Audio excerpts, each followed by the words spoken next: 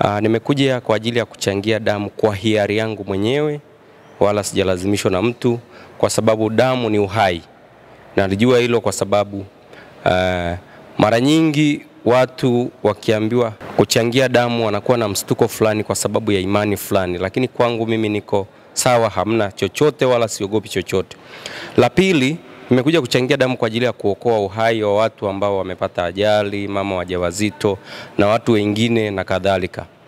Tatu, nimekuja kuchangia damu kwa sababu ya maadhimisho ya siku ya Simba, siku ya mwenye nchi ambayo tunaadhimisha tarehe sita mwezi huu wa nane 2023 uwanja wa Benjamin Mkapa, na siku hiyo itakuwa hapatoshi, na sisi kama viongozi na wanachama wengine wa klabu ya Simba tawi la Kilimanjaro tutaondoka siku ya tarehe tano kuelekea Dar es Salaam, na wito kwa wengine na waomba wajitokeze kwa wingi mara itakapotangazwa tena au mara litakapotokea jambo lingine kwa ajili ya mambo ya jamii au kwa ajili ya mambo ya kitaifa na kadhalika. Mwitikio sio mkubwa sana wala sio mdogo sana, ni wa wastani, kwa sababu leo ni siku ya kazi. Kwa hiyo kila mtu anaondoka kwa muda wake kwa ajili ya kuja kuchangia damu. Inategemeana na bosi wake au mtu aliyemwajiri anampa nafasi kwa kiwango gani au kwa muda gani. Changamoto kama mjumbe kwenye kuhamasisha watu. E, changamoto kubwa ambayo imenajitokeza kwa hasa Kilimanjaro, kwa sababu nimejifunza vitu vingi. Mara nyingi tukio linapotokea katikati ya wiki inakuwa ni ngumu, kwa sababu Kilimanjaro watu wako bize na kazi zao, lakini kama tukio likiangukia liki, liki, liki, liki, siku ya Jumamosi au Jumapili, mwitikio unakuwa ni mkubwa sana, lakini kwa hivi tulivyofanya, tunamshukuru Mungu na tutaendelea kuhamasisha. Jumamosi. Jumamosi utakuwa ni wengi zaidi na Jumapili itakuwa ni wengi zaidi. Wakati ujao tutaangalia siku gani ambayo wafanyakazi wengi wapo free.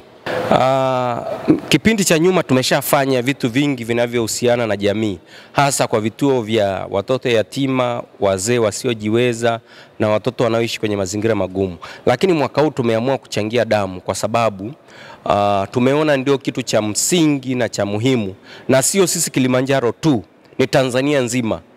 Ni hivi karibuni nilikuwa kwenye mtandao nimeangalia Dar es Salaam na mikoa mingine uh, wameamua kuchangia damu na wakati ujao watafanya jambo lingine. Mi kwa majina naitwa Joseph Case, ni mfanyakazi wa damu salama kanda ya kaskazini, lakini pia mi ni mkuu wa kitengo cha uhamasishaji na uchangiaji damu kwa hiari kanda ya kaskazini.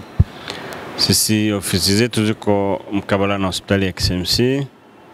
Kazi yetu kubwa haswa ni kuendesha zoezi la uhamasishaji na uchangiaji wa damu na tukishachukua zile damu tunafanya pia kazi ya kuzipima yale magonjwa ambayo yanaambukizwa kwa njia ya damu, na baadaye zile ambazo zinakuwa ziko salama, basi zinakuwa zinapelekwa hospitalini kwa ajili ya matumizi. Leo hii hapa tuko hapa viwanja vya Hindu Mandal, tunaendesha zoezi la uchangaji damu kwa mashabiki wa Simba wa Simba Sport Club kuelekea siku yao ya Simba Day ambayo itafanyika tarehe sita. Wao kama wao wameamua kujiorganize na kujitoa kwa jamii kwa kuja kuchangia damu. Wamefanya mambo mengi sana, lakini moja wapo pia ni la kuja kuchangia damu. Kwa wamehamasishana, vijana, mashabiki wote wanakuja hapa, wanakuja mmoja mmoja kadri ya mtu na muda wake, wanakuja hapa kuja kuchangia damu. Sasa tukiangalia sifa za mchangia damu, kwanza kabisa anatakiwa na umri kuanzia miaka kumi na nane mpaka miaka sitini na tano. Lakini pia akifika hapa tunampima uzito, lazima awe na kilogramu kuanzia hamsini na kuendelea, lakini pia tutampima wingi wake wa damu, tunaanzia angalau awe na asilimia mia na ishirini na tano na kuendelea, au tunasema awe na 12.5 grams per deciliter kwa wale wataalamu ambao wanajua kwamba wingi wa damu unapima kwa grams per deciliter, kwa tunampima. Lakini pia asiwe na magonjwa ya kuambukizwa au yale magonjwa ya kudumu kama kifafa, kisukari, presha, pumu. Tunataka angalau mtu ambaye ni mzima kwa wa kiafya kidogo, au labda asiwe na vidonda vya tumbo Lakini pia kwa kina mama asiwe labda ananyonyesha au ni mjamzito, wale hawaruhusi pia kuchangia damu. Kwa kwa kifupi, hizo ndio sifa ambazo au ni utaratibu ambao mtu anatakiwa awe anautambua, au akifika hapa kama ajui, tutamwelimisha aweze kwenda kushirikiana na sisi kwenye kuchangia damu. Yeah, mpaka sasa kama nilivyokuambia, wanahamasishana mashabiki wa Simba, wanahamasishana wenyewe kwa wenyewe, wanakuja hapa kwa wametuahidi, bado kuna watu wanaendelea kuja. Mpaka sasa hivi tumeshapata chupa kumi za damu, lakini tunaamini bado wanaendelea kuja, maana bado watu wa makazini, wengine wako makazini, wengine wako kwenye mihangaiko. Si unajua hapa ni mjini, kila mtu anahangaika kutafuta. Kwa hiyo tunaamini kufika kwenye jioni jioni au mida ya alasiri, tunaamini watakuja wengi, na viongozi wao wametuambia tuendelee kusubiria, wanakuja. Unavyofika hospitalini ukaambiwa unatakiwa damu, hakuna mbadala wa damu, lazima upewe damu. Hata ukipewa dawa nyingine au upewa sijui madrip ya, damu, ya, ya, ya maji na lakini kimsingi ikifikia pointi unatakiwa damu, lazima upewe damu. Kwa hiyo sasa damu nyingi ambazo tunazitoa au tunazipata zinaenda kusaidia hasa hasa watoto wadogo chini ya miaka mitano kama tunavyojua changamoto ya ukuaji siku hizi kiafya, afya zinazorota, lishe na nini. Kwa hiyo unakuta mtoto akipata tatizo kidogo tu anahitaji kuongezewa damu. Kwa unakuta asilimia zaidi ya hamsini ya damu tunazokusanya wanatumia watoto wadogo chini ya miaka mitano, lakini pia kuna wamama wajawazito. Watu wanapenda wanaoana, wanajifungua, wanazaa, lakini changamoto siku hizi zimekuwa kupata mtoto. Mimba za siku hizi zinakuwa na changamoto nyingi, mojawapo ni hizo. Sasa unakuta mama ni mjamzito, lakini ikifikia kipindi cha kujifungua anatakiwa kuongezewa damu au labda anatokwa damu nyingi. Kuna unakuta watu kama wale wanatumia zaidi ya asilimia thelathini za damu tunazozikusanya. Lakini pia kuna wahanga wa ajali, kila siku nasikia maajali yanatokea, mabarabara yanatengenezwa, yanakuwa na lami, spidi za magari zinaongezeka, hiyo ajali ikitokea, mtu akinusurika pale kwenye ajali, akifika hospitalini atahitaji kuongezewa damu.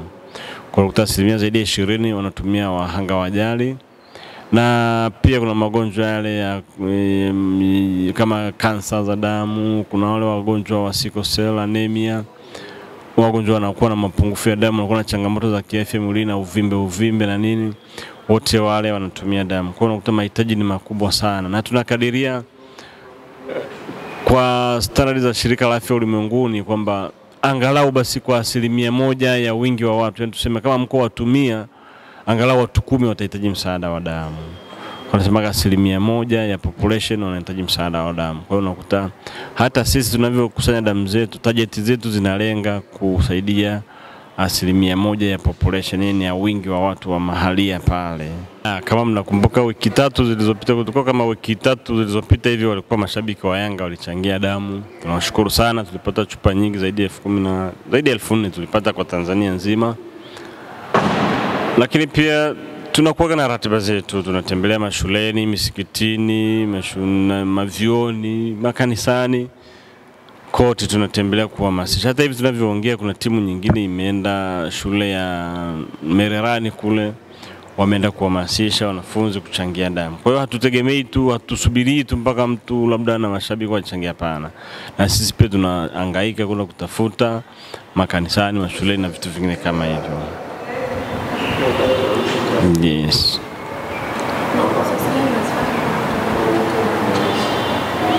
Yeah, kama nilivyowaambia kwamba mtu akifika hapa akishaingia tu hapa atapewa elimu, atakutana na mwandikishaji pale, atampima uzito wake, akimaliza atamhoji labda mara ameshamchangia damu lini na nini. Akishamaliza, akishajiridhisha kwamba anaweza akachangia, ataenda atapima wingi wa damu, kujiridhisha kwamba ana damu ya kutosha na kumsaidia mwenzake. Ataenda kwa mshauri na saa atapimwa ma msukumo wake wa damu atahojiwa. Kuna baadhi ya maswali atamhoji kujiridhisha afya yake ikoje. Akishamaliza sasa, kuna vitanda vyetu viko pale, ataenda pale atatolewa damu. Akimaliza atapumzika kwa dakika tano pale kitandani. Akitoka hapo ataenda atapumzika mahali, atapata refreshment. Tuna ofa, tunatoaga ofa ya soda na maji na biskuti kidogo, angalau kurudishia ule umajimaji ambao ametoa ile damu kwao tunamwangalia kwa dakika kumi na tano akishakuwa yuko vizuri anaweza akaondoka. Tunampatia na kadi yake, anaondoka akiwa na amani kabisa kabisa. Mjumbe wa tawi la Moshi Kilimanjaro. Mimi naitwa Ismail Hilary Limo, nimetokea kata ya Kaloleni. Nimekuja kuchangia damu kutokana ni Simba Day, watu ambao wanaopata ajali wapate kupata huduma ya damu salama. Kuchangia damu.